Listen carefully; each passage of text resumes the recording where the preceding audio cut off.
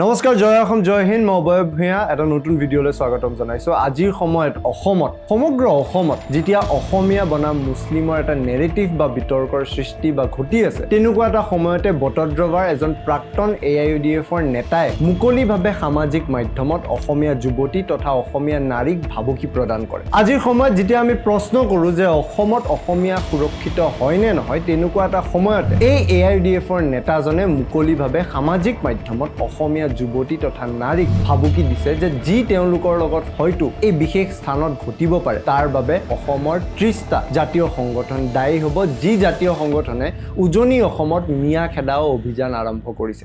আজিৰ সময়ত যেতিয়া আমি বাৰম্বাৰ প্ৰশ্ন কৰোঁ যে অসমত ডেম'গ্ৰাফিক চেঞ্জ হৈ আছে যাৰ পৰিণামত অসমত অসমীয়া সুৰক্ষিত নহয় তেনেকুৱা এটা সময়ত যেতিয়া এজন এ আই ইউ ডি এফৰ প্ৰাক্তন নেতা যিয়ে আমি জানিব পৰা মতে পঞ্চায়তৰ সভাপতি আছিল এ আই ইউ ডি এফৰ কাৰণে বটদ্ৰৱাৰ ভিতৰতে। তেওঁ যদি মুকলিভাৱে সামাজিক মাধ্যমত অসমীয়া যুৱতী আৰু অসমীয়া মহিলাক ভাবুকি দিব পাৰে যে তেওঁলোকৰ লগত হয়তো সংঘটিত হ'বলগীয়া ঘটনাৰ বাবে কোনোবা বেলেগ দায়ী হ'ব অৰ্থাৎ তেওঁলোকে এইটো কথা স্বীকাৰ কৰিছে বা তেওঁ এইটো ভাবুকি দিছে যে তেওঁলোকৰ সমাজৰ পৰা হয়তো কোনোবাই এনেকুৱা ধৰণৰ ঘটনা সংঘটিত কৰিব পাৰে। তাৰ বাবে জগৰীয়া হ'ব ত্ৰিছটা জাতীয় সংগঠন। এই বিশেষ ব্যক্তিজনলৈ মন কৰক এওঁৰ নাম হৈছে ছিদ্দিকুৰ ৰহমান। এওঁৱে হৈছে সেই প্ৰাক্তন বটদ্ৰৱাৰ এ আই ডি এফৰ নেতাজন। তেওঁলোকে ভাবুকি দিছে যে অসমীয়া মহিলাৰ লগত সংঘটিত হ'ব পাৰে ভয়ানক ঘটনা। এনেকুৱা এটা সময়ত প্ৰকৃততে অসমীয়া নাৰী সমাজত সুৰক্ষিত নে?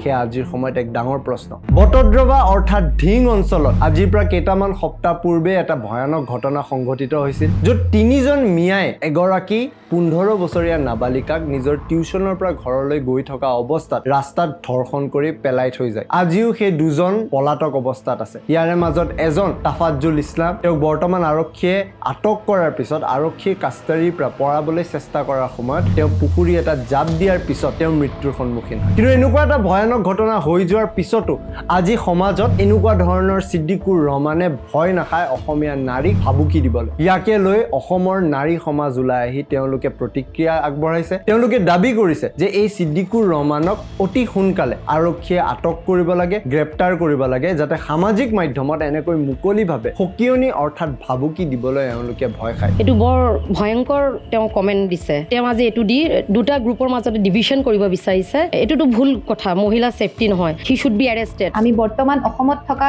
জীয়ৰী বোৱাৰীসকল সুৰক্ষিত নহয় আৰু তেনেস্থলত যদি তেওঁ এনেধৰণৰ বিষবাস্প বিয়পাইছে এনেধৰণৰ মন্তব্য যদি তেওঁ দিছে আমি ভাবোঁ তেখেতক সোনকালে কৰায়ত্ব কৰিব লাগে আৰক্ষী প্ৰশাসনে তেখেতক এৰেষ্ট কৰিব লাগে। কাৰণ বৰ্তমান যি অসমত পৰিস্থিতি হৈ আছে সকলোতে সাম্প্ৰদায়িক মনোভাৱ বিয়পি আছে মানুহৰ মাজত। তেওঁ বুজাব বিচাৰিছে যে যি সাম্প্ৰদায়িক এলেকাত যি বোৱাৰী জীয়াৰী কাম কৰি আছে তেওঁলোকক হয়তো বহু বেয়া ধৰণৰ অৱস্থাও তেওঁলোকৰ লগত কৰিব পাৰে। আজিৰ পৰা কেইটামান দিন পূৰ্বে বিজেপিৰ এম এল এ অৰ্থাৎ বিধায়ক ৰমাকান্ত দেউৰীয়ে সদনৰ মজিয়াত এটা কথা আগবঢ়ায় যে লাহৰীঘাট অঞ্চল তেওঁৰ নিজৰ সমষ্টিৰ ভিতৰতে থকা এটা অঞ্চল তাতে বহুতো অসমীয়া টেট শিক্ষয়িত্ৰী ভয় খাইছে আৰু তাৰ পৰা ওলাই আহিবলৈ চেষ্টা কৰিছে কাৰণ বহুতো মুছলমান লোকে তেওঁলোকক জোৰ জবৰদস্তি কৰি বিয়া পাতিবলৈ চেষ্টা কৰে। আৰু এই কথা যেতিয়া আমি সামাজিক মাধ্যমত এটা টুইট যোগেদি আমি কথাটো প্ৰকাশ কৰিছিলোঁ তাৰপিছত বহুতে যদিও কৈছে ইয়াৰে কোনো ধৰণৰ প্ৰুফ নাই। কি ধৰণে এই কথা আমি প্ৰুফ কৰিব পাৰোঁ বহুতে কৈছে এনেকুৱা ধৰণৰ ঘটনা হৈছে। যদি আপোনালোকে ছ'চিয়েল মিডিয়াটো গৈ বিভিন্ন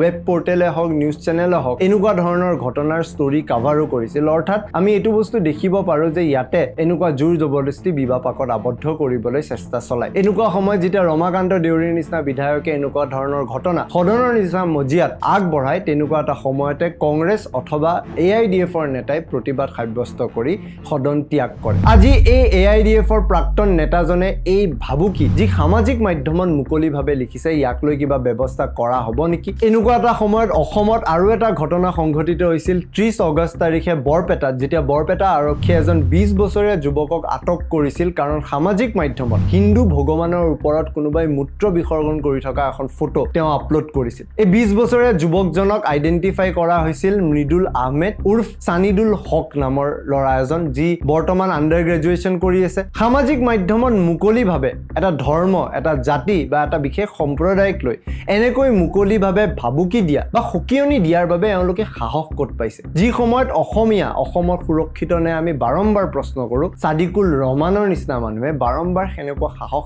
পায় ক'ত যে সামাজিক মাধ্যমত অসমতে থাকি অসমীয়া নাৰী অসমীয়া যুৱতীক এনেকৈ মুকলিভাৱে ভাবুকি দিব পাৰে? কমেণ্ট ছেকশ্যনত জনাব আপোনালোকে কি ভাবে? এই ভিডিঅ'টো চোৱাৰ বাবে।